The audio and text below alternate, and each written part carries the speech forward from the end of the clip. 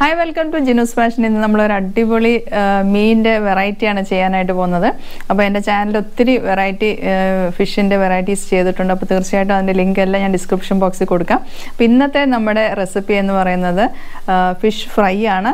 Fish fry നമ്മൾ സാധാരണ ചെയ്യുന്നതിനെക്കാട്ടിലും വ്യത്യസ്തമായ രീതിയിലാണ് ഇന്ന് നമ്മൾ ചെയ്യാൻ പോകുന്നത്. ഇതെന്ന് വെച്ചാൽ വെറ്റായിട്ടുള്ള ഒരു ഫിഷ് ഫ്രൈ ആണ്. അപ്പോൾ ഇത് എങ്ങനെ തയ്യാർ ചെയ്യാമെന്ന് നമുക്കിപ്പോൾ കാണാം. അപ്പം തീർച്ചയായിട്ടും നിങ്ങൾ ഇത് ട്രൈ ചെയ്ത് നോക്കുക. അപ്പോൾ ഇത് നമ്മൾ ഇന്ന് ചെയ്യാൻ പോകുന്നതെന്ന് വെച്ചാൽ ഫിഷ് കോക്കനട്ട് മിൽക്ക് ഫ്രൈ ആണ് ചെയ്യുന്നത്. അപ്പോൾ തീർച്ചയായിട്ടും ഇതൊരു വെറൈറ്റി തന്നെയല്ലേ? അപ്പോൾ ഇത് എങ്ങനെ ചെയ്യാമെന്ന് ഇതിന് വേണ്ട ഇൻഗ്രീഡിയൻസ് എന്തെല്ലാമാണെന്ന് കാണാം. കഴിയതിന് ശേഷം ഇതുപോലെ നമുക്ക് നന്നായിട്ടൊന്ന് വരഞ്ഞു വെക്കണം. ഇതുപോലെ നമുക്ക് ബാക്കിയുള്ള മീനെല്ലാം നമുക്ക് നന്നായിട്ടൊന്ന് വരഞ്ഞു കൊടുക്കാം.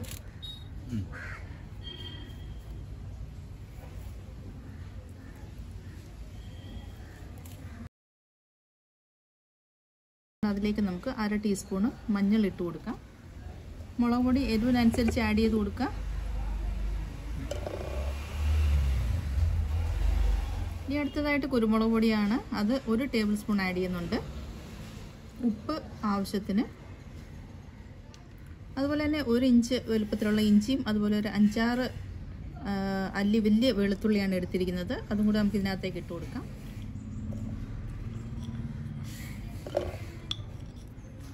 കുറച്ച് വെള്ളം ഒഴിച്ച് കൊടുക്കാം. എന്നിട്ട് നന്നായിട്ടൊന്ന് അരച്ചുകൊണ്ട് വരാം. ഇപ്പം നമ്മൾ മസാല നന്നായിട്ട് അരച്ചുകൊണ്ട് വന്നിട്ടുണ്ട്. ഇനി നമുക്കിതൊരു ബൗളിലേക്ക് മാറ്റാം.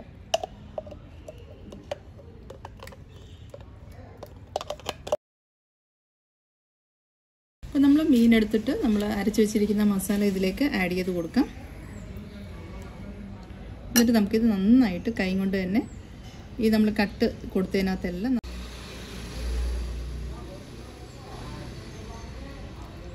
രണ്ട് സൈഡിലും നന്നായിട്ട് മസാല ഒന്ന് തേച്ച് പിടിപ്പിക്കാം.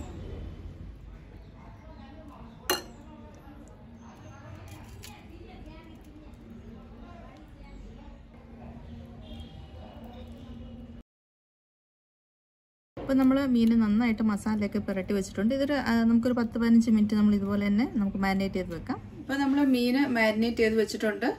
അപ്പോൾ അതൊരു പത്ത് പതിനഞ്ച് മിനിറ്റ് കഴിഞ്ഞിട്ടുണ്ട്. പിന്നെ നമുക്ക് ഇനി എണ്ണയൊന്ന് നമുക്ക് ചൂടാക്കിയിട്ട് മീനൊന്ന് വറുത്തെടുക്കാം. അപ്പോൾ ആദ്യത്തെ സ്റ്റെപ്പ് എന്ന് പറയുന്നത് മീനൊന്ന് നമ്മൾ കുറച്ച് നമ്മളൊന്ന് ഫ്രൈ ചെയ്യണം. മൊത്തത്തിൽ നമ്മളങ്ങ് കുക്ക് ചെയ്തെടുക്കുകയല്ല. അപ്പോൾ എണ്ണയൊന്ന് ചൂടായതിന് ശേഷം നമ്മൾ മാരിനേറ്റ് ചെയ്ത് വെച്ചിരിക്കുന്ന മീൻ നമുക്ക് ഇട്ട് കൊടുക്കാം. അപ്പോൾ എണ്ണ ചൂടായിട്ടുണ്ട് മീൻ ഇട്ട് കൊടുക്കാം.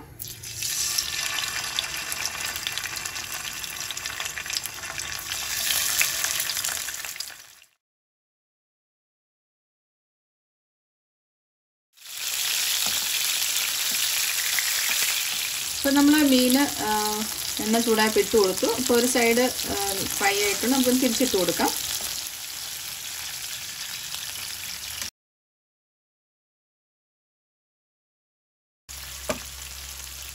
അപ്പോൾ രണ്ട് സൈഡ് നമ്മൾ ലൈറ്റായിട്ടൊന്ന് ഫ്രൈ ചെയ്തിട്ടുണ്ട്. ഇനി നമുക്കിതൊരു പ്ലേറ്റിലേക്ക് മാറ്റാം.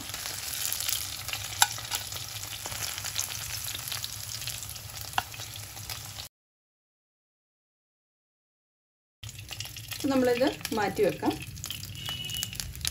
അപ്പോൾ ഇതേ എണ്ണയിൽ നമ്മൾ കുറച്ചുകൂടെ എണ്ണ ഒഴിച്ചു കൊടുക്കുന്നുണ്ട്. ഈ വറുത്ത എണ്ണയിൽ തന്നെയാണ് ബാക്കിയുള്ളതൂടെ ചെയ്യുന്നത്. ഈ എണ്ണയിൽ തന്നെ നമുക്ക് ഒരു മീഡിയം സൈസ് സവാള ചെറുതായിട്ട് അരിഞ്ഞതാണ് നമുക്ക് ഇട്ട് കൊടുക്കാം.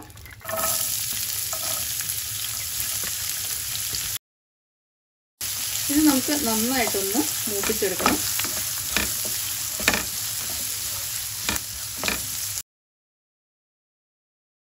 ഇതിലേക്ക് നമുക്ക് ഒരു ടീസ്പൂണ് പച്ചമുളകാണ് ഇട്ട് കൊടുക്കാം. അതുപോലെ ഒരു ടീസ്പൂൺ ഇഞ്ചി ചെറുതായിട്ട് അരിഞ്ഞത്. അതുപോലെ വെളുത്തുള്ളി ഒരു ടീസ്പൂൺ എടുത്തിട്ടുണ്ട്. അതും ചെറുതായിട്ട് അരിഞ്ഞതാണ് ഇട്ട് കൊടുക്കാം. ഇതെല്ലാം നമുക്ക് ഒരു മീഡിയം ഫ്ലെയിമിൽ നമുക്കിതൊന്ന് നന്നായിട്ടൊന്ന് വഴറ്റിയെടുക്കണം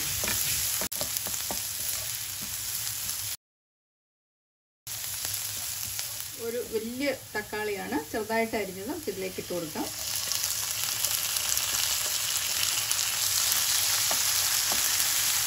എന്നിട്ട് ഇത് നന്നായിട്ട് നമുക്ക് ഈ തക്കാളിയൊക്കെ നന്നായിട്ടൊന്ന് ഉടഞ്ഞു വരണം.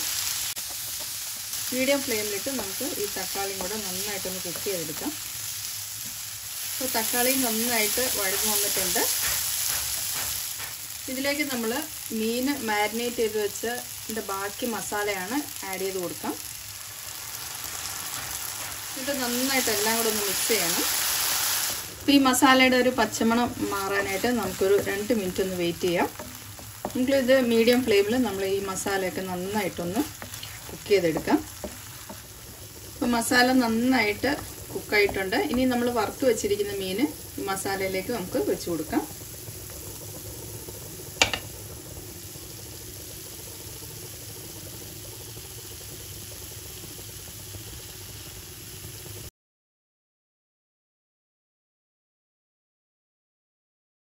ഇതിന്റെ മുകളിൽ നമുക്ക് തേങ്ങാപ്പാൽ ഒഴിച്ചു കൊടുക്കാം.